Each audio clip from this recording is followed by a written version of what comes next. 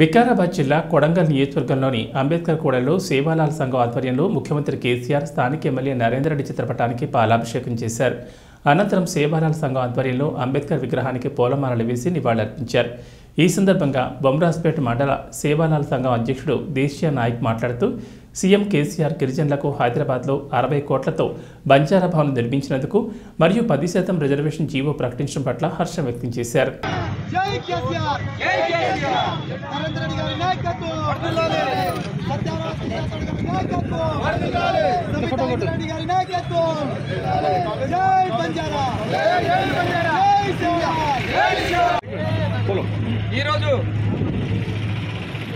ఇక్కడ కార్యక్రమం కార్యక్రమానికి వచ్చేసిన పెద్దలందరికీ నా యొక్క ధన్యవాదాలు. నిన్న హైదరాబాద్లో గిరిజనులతో జరిగిన బహిరంగ సభలో మా కేసీఆర్ గారు మన గౌరవ ముఖ్యమంత్రి కేసీఆర్ గారు గిరిజనులకు ఇచ్చిన హామీలు హామీలు మన తెలంగాణ మన రాష్ట్రం సాధన కోసం జరిగిన ఉద్యమంలో మాట ఇచ్చిన ఆ మాటకు కట్టుబడి మాటకు కట్టుబడి మా గిరిజనులకు బంజారా భవనం మన హైదరాబాద్లో బంజారా భవనం అక్కడ బంజారా హిల్స్ అని పేరున్నది. అక్కడ శివలాల్ మహారాజ్ ఆ టైంలో అక్కడ నివసించారు.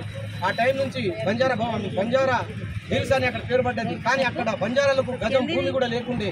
అటువంటి జాగాలో ఒక్క ఎకరం భూమి ఇచ్చి అరవై కోట్లతో బంజారా భవనం నిర్మించి మా బంజారాలకు ఒక స్థానం కల్పించాడు.